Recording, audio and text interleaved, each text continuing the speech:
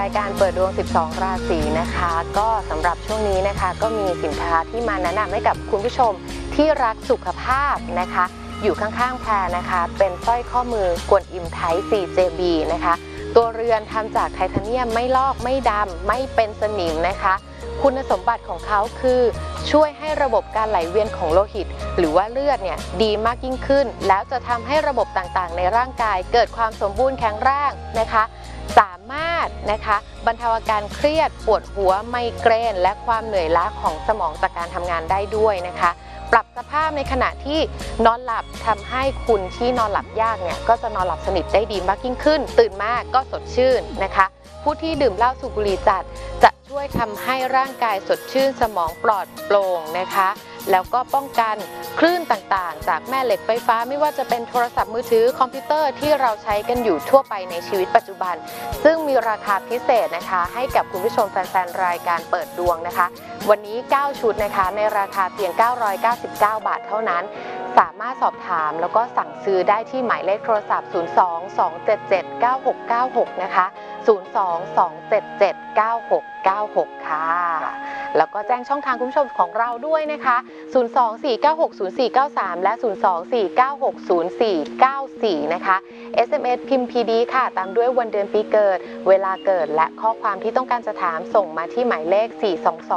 422-1606 นะคะ จ้ะวันนี้ก็หมดสัปดาห์แล้ว แล้วก็เดี๋ยวก็หมดเดือนอีกแล้วนะคะ จ้ะ ขึ้นเดือนใหม่นะคะ เราก็จะมีประชาสัมพันธ์นะคะ ครับ ในวันแห่งความรัก ใช่14 กุมภาพันธ์นะครัคะบเอ่อ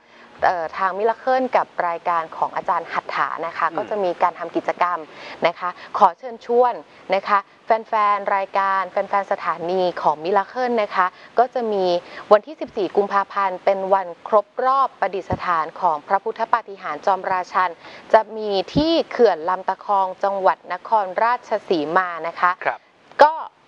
มีการทำบุญนะคะ มีพิธีเสริมสืบชะตารวมถึงผูกขวัญแม่ย่านางรถนะคะ หลายท่านได้เคยเข้าร่วมพิธีกันมาแล้วนะคะ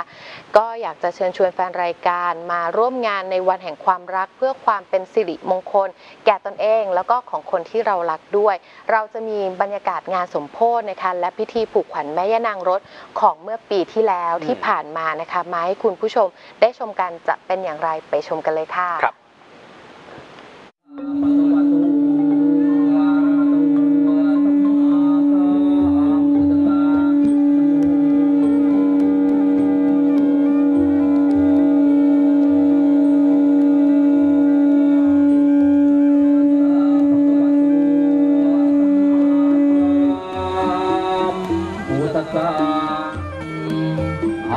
เทวนังขยมังคารัง สังฆังเทวนังขยมังคารัง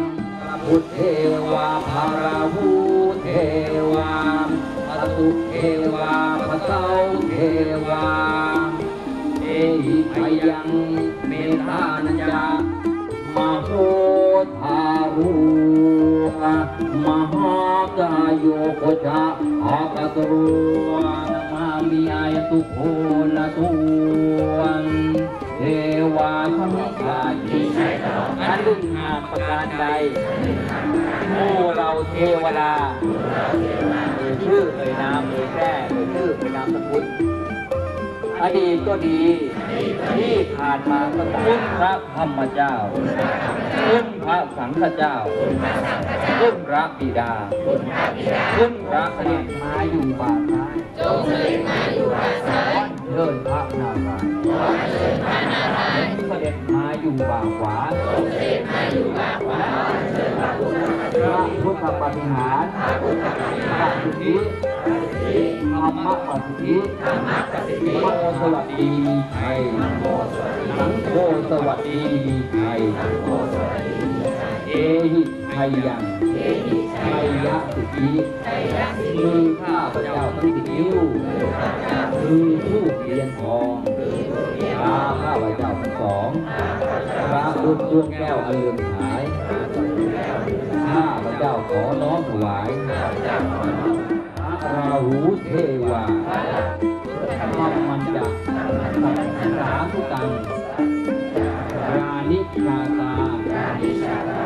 ตังรานิชาตาด้วยตัวเลขก็ดี ตัวอักขระก็ดี ตัวอักษรก็ตาม ที่ประกอบกันมีกรุงเทพพระองค์ใดเมื่อมาเสด็จณสถาน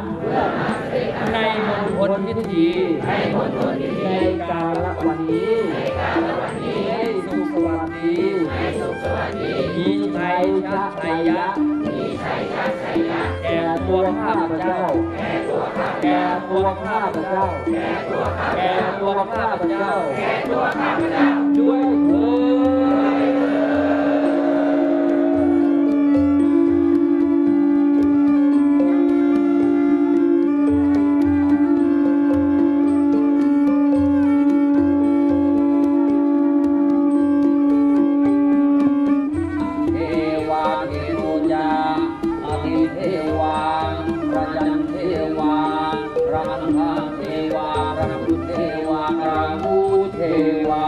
าพรุณทีกุรุเทวา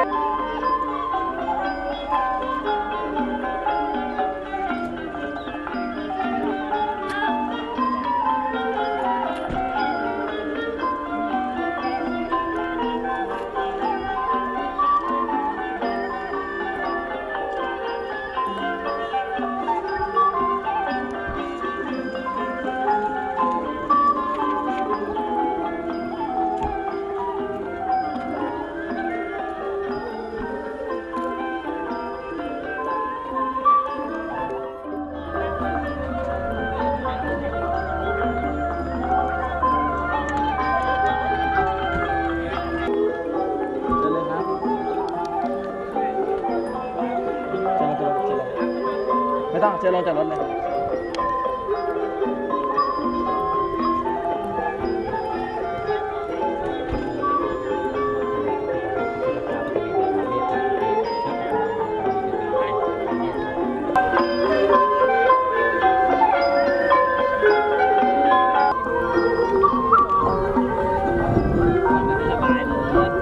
เอาปล่อยจากมือนะ ผมทำพิธีก็ปล่อยจากมือไปพุทธังปัจจคามิธรรมังปัจจคามิ สังฆังนิปัสสุปัสโส ปัสโลไปประกอบตัวนอก ถ้าประกอบตัวไหนก็เคลื่อนไหวร้ายก็ร้ายให้ออกร้ายนอกไม่มีพุทธังชัยะชัยะชัยยะชัยชนะพุทธเจ้าโลกแบบไทยชำระออกชำระนอกชำระกายชำระสินสว่างโอมพุทธังอุณาโรเมตานันจะนั่นแหละพุทธังไม่ค่อยดี โอ้โหกระดูกมันแย่หันหลังมาเนี่ยนะคัดให้ออกหมดพุทธังปัจจคามิธรรมังปัจจคามิปัสสุปัสโสปัสโลปัสภัยสัพพะเคราะห์ตัวนอกจัตตารโอปัตโตยถายเอกวาทิถาหิโอมะตังต่อดินสินต่อรังเนื้อต่อตังหนังต่อติด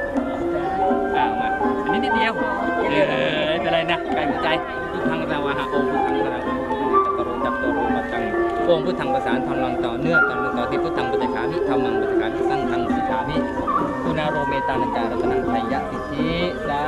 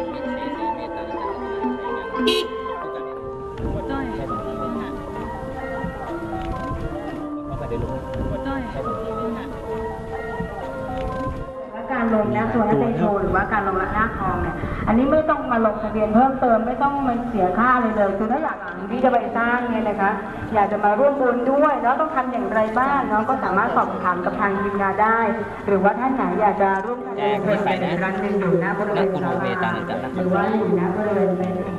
นะลงน้าส่วนนะเป็นการ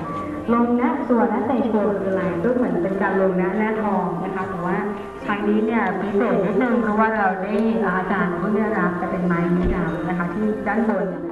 Thank you.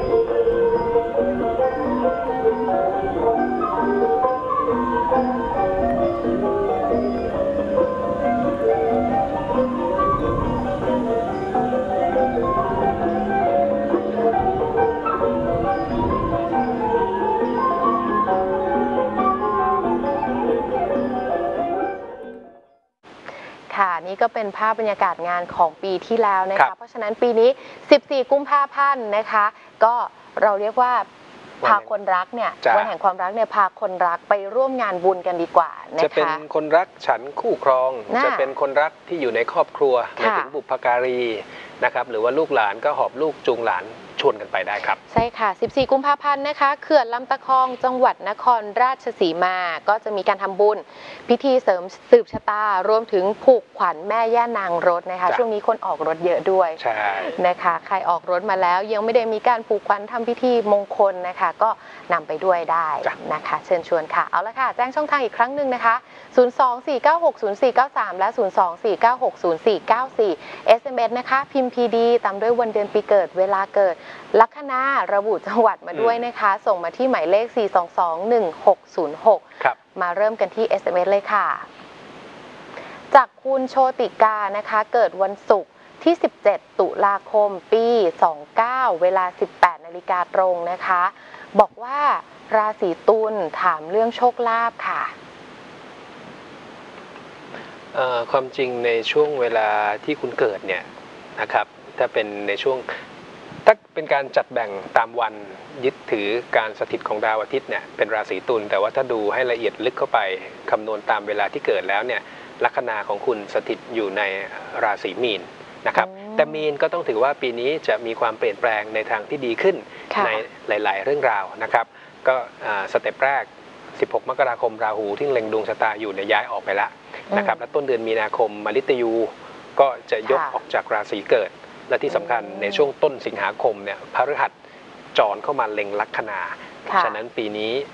เขาบอกว่าเกณฑ์ชะตามันดี คุณยิ่งต้องเตรียมความพร้อมอืมกระตือรือร้นที่จะไขว่คว้าโอกาสที่ได้รับ ฉะนั้นค่ะปีนี้ขยันขันแข็งให้มาก และคุณจะยิ่งมีลาภผลครับนี่ไงถามเรื่องโชคลาภเข้ามา แปลว่าอยากได้ลาภใช่แต่เป็นลาภผลจากความเพียรพยายามนะครับนะคะท่านต่อไปค่ะ